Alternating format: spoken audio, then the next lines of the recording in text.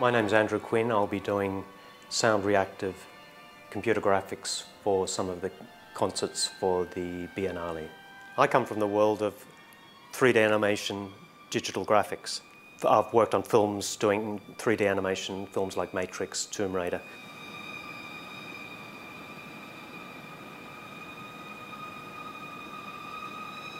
Sound reactive visuals are the interaction between audio and visual. The, literally, we connect the audio to the computer and then analyze the audio and then produce visuals based on what we hear. It's all pre-programmed material, which also we can modulate during the performance.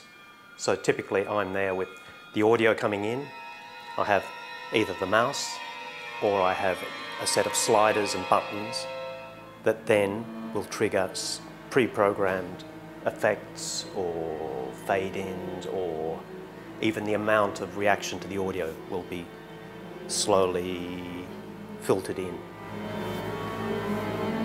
So everything is created in real time.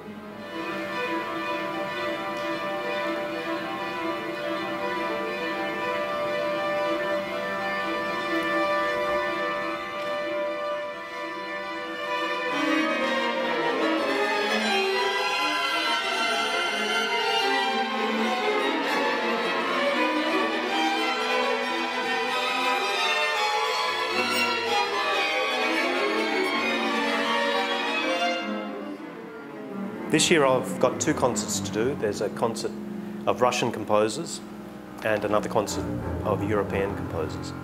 And I'm already in touch with um, the composers I'll be working with to get their ideas of what they'd like to see and how, they, if they have any sort of basic um, visual ideas that I can then use as a basis for what I do. So I have the tracks already for some of these visuals, uh, whereas others are prima assoluta, so I won't have the tracks until the concert is performed.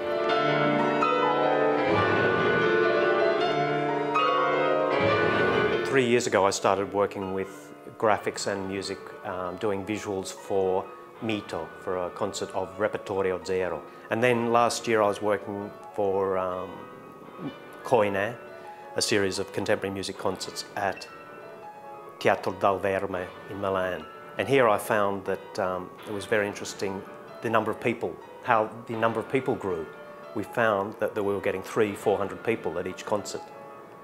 And the people, uh, the management at Pomeriggi Musicali said they were very surprised at the number of people for a contemporary music concert because sadly people don't go to those concerts.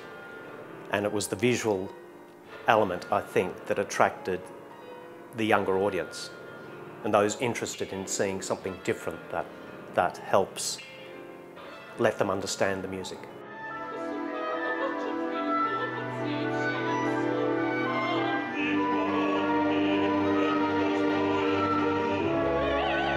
These days, digital technology is used for virtual, creating virtual sets. So I recently did a virtual set for an opera which was also 3D imagery, stereoscopic.